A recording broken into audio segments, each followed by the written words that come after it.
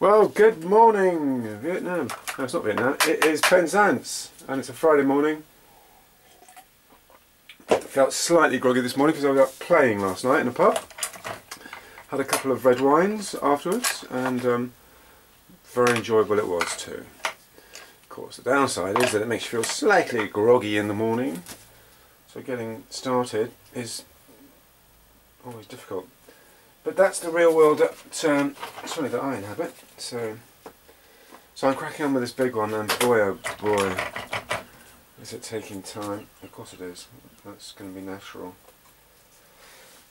And the secret is just chip away at it. Chip, chip, chip, chip, chip, chip, chip away at it.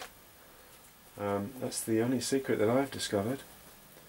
Just put the paint on the brush and go for it. That is also the secret to finding inspiration. It is most certainly found in putting paint on a brush and starting and making lots of mistakes sometimes covering up and going over and starting again at least you're working, you're clocking in and hopefully you know, I started on Monday after a two week break and I was, I was slightly scared really of getting back in again. You know, and started thinking, oh no, you know, it's hard work painting. I mean, it is hard work, believe me. Um, well, maybe it's not as hard as digging trenches on the road. Um, But if you want to be... Well, anyway, I'm not going to go on about that. So, just plugging away at it. Brushes are a little bit scraggy, I might need to go and get some new some new brushes because they're looking a little bit on the scraggy side and uh, see that? Okay, just uh, working away. at it. I love that cobalt. No, I've always loved this colour. This cobalt is just like one of the best colours in the world, but this I use a little bit on this painting with these oranges and yellows and reds because green is the complementary colour rather than blue. So I should be using green rather than blue. Just chip away that's it bit by bit, trying to.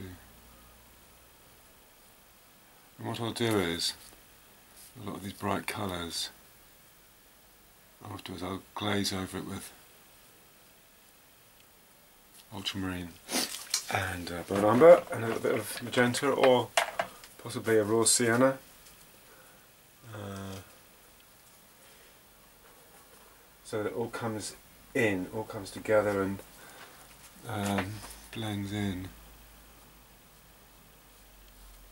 If you can see what I'm doing there. Can you see what I'm doing there?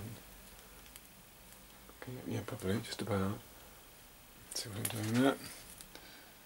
Just uh, letting the picture tell me as I go along what needs to be done. Not thinking too hard, but still it's, it's, a, it's a balancing act. Don't want to get one thing I don't want to do is go too dark. And I've done that before in this painting. It's gone too dark. So keep it bright. I'd rather be bringing it down than having to paint and bring it up.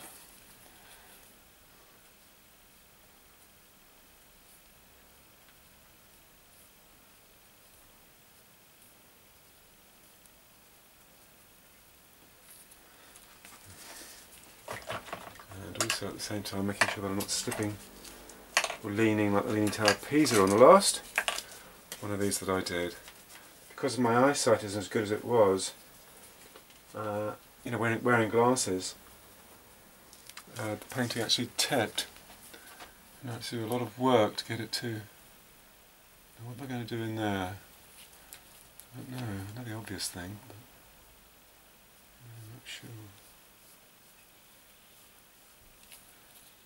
good, isn't it? Chip, chip, chip away.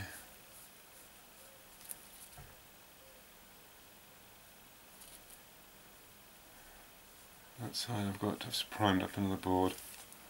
Well, gone up, gone over an old board. What can I do in there? So I can uh, start my new painting, which will be again a Marrakech with a pool in the middle, a square one with a pool smack bang in the middle. So it's all centered around a nice refreshing swimming pool with palms. Starting to look good.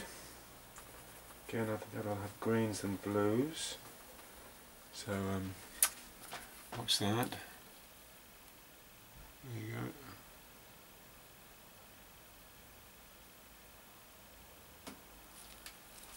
Okay, coming on. Uh, also up here we've got quite large areas might have to be worked into. Um, okay, I'll do for today I think. Anything else I can add to this? Well, shadows, no, shadow area. They've got a sun up there so you will definitely have shadows. There's a shadow. There should really be a shadow under that. I've got that pinky shadow, but something other would be better, I think. Um, scraggy down there. Not sure what's going on there, but just having that one line like that is a little bit of a swayze, make it nice and tight. Make it all tight as you go along. uh, in there as well. I'm not sure comfortable with that. We get a nice line going in there. the brushes really are getting a little bit worn. When you're uh, painting an acrylic, water isn't really doesn't like uh, acrylic. I don't think. Leave the brushes particularly overnight, it's not good. Right, you can see this because it's a bit low. Right, okay, so that, that, that needs to be gone over again. Using uh, gesso for my white, I've been doing that for a long time, and using uh, artist quality white for the um, for going over the white, so white on white, which I like. Can you see this? It over slightly. I've got a trip. Oh, you can see it definitely. Um, it's not. Now I'm going to try something new.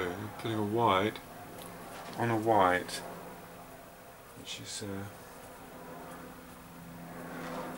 little thing I like doing. Let's see if it will work. See that? It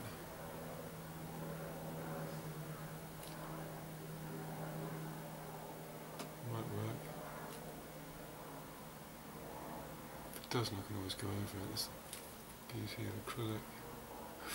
Oh god, that's your brush. It's not a very good brush.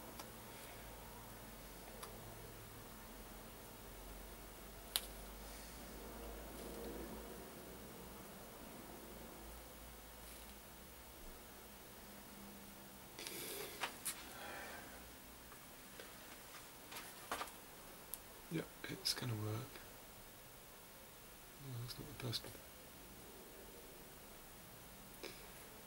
sometimes at least you can get the idea in and you can go over it. And I am toying with the idea of doing it with this in oil.